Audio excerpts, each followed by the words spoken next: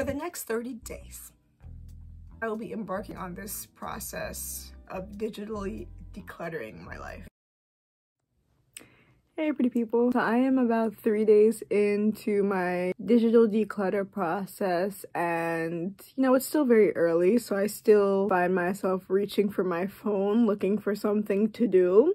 I downloaded Poshmark and I was scrolling and seeing what I could buy. I'm just like, girl, it's crazy. And like, I find myself looking like at the WhatsApp statuses to just keep up with something. So, I mean, it's just a testament to the fact that it's hard to break habits. It takes a while. It's, it's a process. Yeah, those are just some things I've been noticing thus far. I'm still like waking up and checking my phone, even though there's not much to check. But today I caught myself doing that and then I started reading instead. Moving forward, I want to keep my phone in another room at night, so I'm really not tempted to grab it. I've been more active with my language apps, which has been fun. It's just like a little update. I will come back probably at the one week mark and update you guys then. Bye! I look like a milk dud. I think I'm at a week of my, I'm currently at the park. I'm at a park, one of my favorite parks. the sun is coming back out. Oh my God, it's beautiful. Oh shit, okay. Um, do I have headphones in? Hello? Um, okay, I'm trying not to, actually, I think that's mine.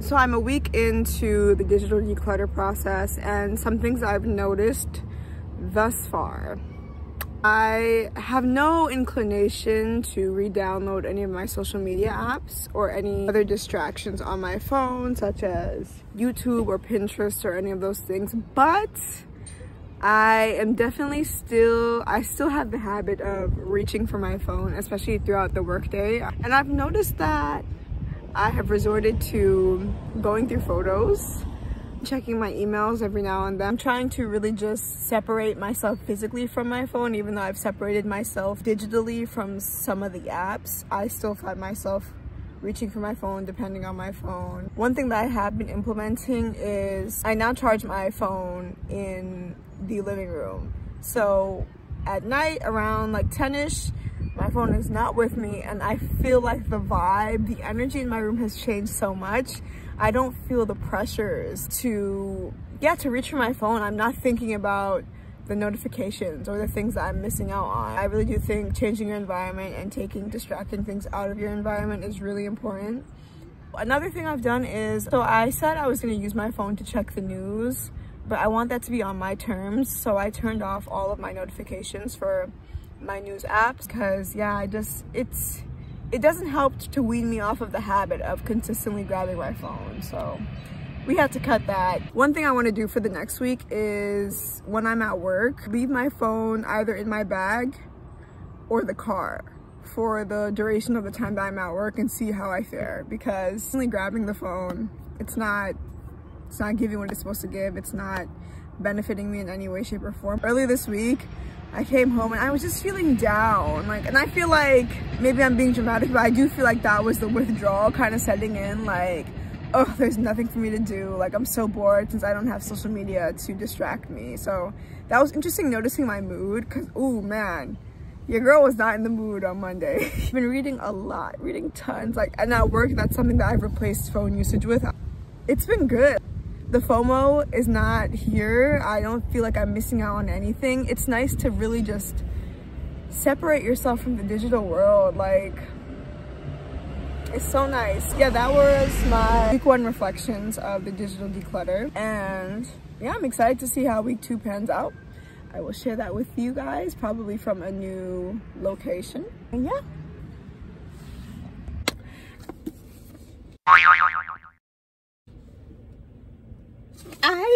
Wanting to read this book for months now. I don't know what was stopping me. I didn't want to pay for it, I guess. This book was $30. But, oh! No. Yeah, Gyasi changed my life when I read Homegoing. So, I know this book is gonna have me in my, no, this book, this book is, this is sacred. I'm, no one can borrow it. This book oh my god i opened the i was like opening i opened it and the pay oh no. Uh, I've really become such a book nerd again. This was one of activities that really got me through childhood. And I'm excited to read this book. Oh my god, this look at the cover. Oh, oh. This is what digital declutter process has inspired. It has led me back to my love for books. Trying to be more intentional with the activities I do. If I'm gonna be consuming something, I'd rather it be books than think pieces on Twitter. Influencers in Jamaica during a panty. I'm so excited. Hello, I'm coming to y'all live at 8.53 p.m. Y'all will never believe what I'm about to do. I'm about to take a French class. Online, yeah. Signed up for these French classes and um, yeah, I feel like this is one of the latest ones I've taken since I started this like course. But this is a part of like I said rediscovering new habits and hobbies and like my language acquisition like I've explained is one that I'm really really dedicated to and focused on improving. I am not in the greatest spirits. Although these courses are only an hour, I just feel like they drag. Like I'd much rather be in bed watching my shows, but we gotta stay committed. Yeah, I'm crazy. Yeah, I graduated and I'm still taking classes because I am a nerd. Okay? Okay, I am a nerd. Um, I just wanted to do a report of week two. I will say this was an interesting week. I kind of fell off. I haven't downloaded any like social media apps. I think I'm still doing good in terms of not using social media. Like haven't been on twitter instagram snapchat none of that. Even facebook i haven't used. But kicking the you know using your phone just to entertain you habit it's still here. I was really feeling like bad about it the fact that i hadn't kicked the habit yet but i was thinking like well this is the reality of the process. Like, it's really hard to wean yourself off of something that you have been addicted to for a large majority of your life since there's not much on my phone to entertain myself with, I started really going through my emails. looking at emails, trying to see what's new, what's in the inbox that seems interesting. One strategy that I had was to just delete the email app off of my home screen. That helped maybe for like a day and then I just started going into the search bar and searching up mail. Yeah, I'm gonna try to be a bit more proactive about that in the upcoming week. I have two weeks left of this challenge so I'm excited to see what my habits look like by the end of it. I've been pretty consistent with moving my phone from my room in the evening. There were a few days where I slipped up and then I'm noticing like today's a Saturday. I didn't charge my phone outside of my room. I woke up and the first thing I did was like open my phone and I checked my messages which is better than scrolling through Instagram for 30 minutes because at least those messages are limited, but you know, we still want to wean off of these habits as well. I mean, in terms of like itching to be on social media, I really don't have it. I really have found that my Kindle has been an excellent replacement for scrolling through Twitter and Instagram. I finished another book this week, finished a book last week. I'm killing it. I'm killing it in terms of my um, Goodreads 2021 reading challenge. I'm not bothered. I don't miss the apps. Genuinely, honestly, I really love being unplugged. Action steps for this week to be more proactive about not charging my phone in my room, out of sight, out of mind. I think that will really help. I have noticed that my YouTube consumption is a bit problematic. I'll be lingering on YouTube kind of looking for an interesting video to watch um, which is something that I think is kind of like my way of coping with not being on my phone. But yeah, so I'm excited for week three's update. Hope you all are doing well. Hope you all are inspired to do your own digital declutter, whether it's a day or five days, a week, two weeks. Like I do recommend this just to anybody who is in Gen Z. But yeah, I will get back to y'all on week three. Hi guys, um, I'm here to update you guys on, honestly, I don't know what week it is. It's the last week though, so I guess week four of my digital declutter experience. I feel no FOMO in regards to social media. This whole like really having to detach and like break free from the shackles of my smartphone. It's gonna be a journey. It's not just gonna be a 30 day challenge and I'm gonna be free from it. But I was kind of beating myself up for still having these negative habits. This is gonna be a process of trying to liberate myself And that's okay. Phones are a big part of our lifestyles, technology, smartphones, all of that. It's gonna take some time, ça va prendre du temps, but I do think that this declutter has been very necessary. I feel very zen. I really, really like being unplugged. Once you've done the digital declutter, the next step after the 30 days is to like slowly reintroduce certain applications in a more intentional way that doesn't, you know, waste all of your time. And I've really been thinking about deleting some apps like Twitter. Twitter might have to go, baby.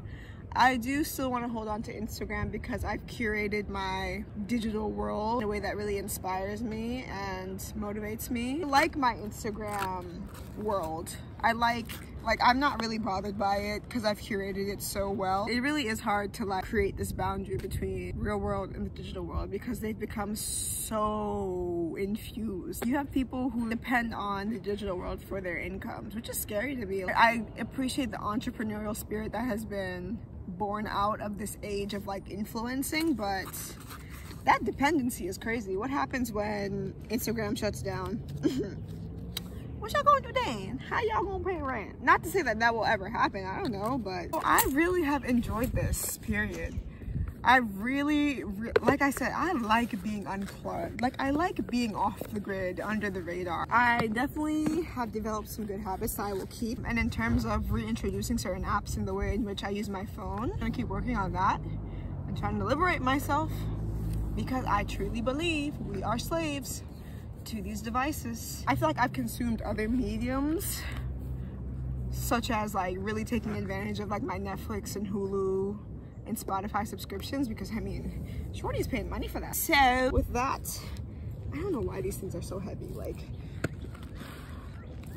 these are hard to put on. I am going to probably sign off um, and do some skating. Okay, hi guys. It is May 3rd Y'all, I'm gonna try to be better about having these videos out earlier. Last clip, I was a bit confused with the dates. I kinda wanna come back here and just do an overall conclusion of some things I've learned, some things I have taken away from doing this declutter process. I have my phone here with my handy dandy notes. So let's get started. Overall takeaway is hard to wean yourself off of these devices.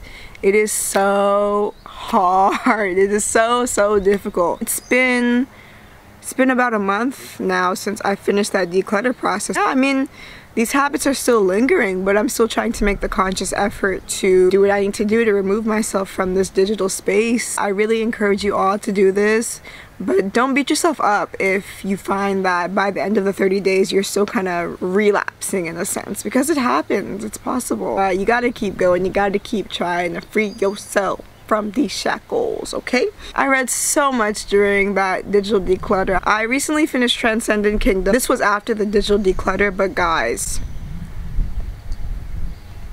yeah, Gyasi is two for two, all hits, no misses, highly recommend. I used to really wonder how people could read like 20 books in a year, but now I get it. Just get off of your phone and anything is possible. It's amazing what you can accomplish when you reduce your screen time. Yeah, like I said, there was no FOMO. Um, I really got into roller skating. I'll insert some clips right here. I am getting a lot better at it. I love it. It's so much fun. Put your headphones in, get some music playing, and it's such a vibe. It's such a vibe. I also watched some interesting things on Netflix. I finished Ginny and Georgia.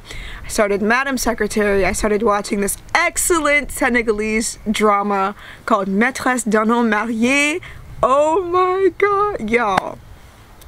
This was a really enlightening process. I'm really glad I did this. I'm really proud of myself. If you haven't done one of these yourself, highly, highly, highly recommend.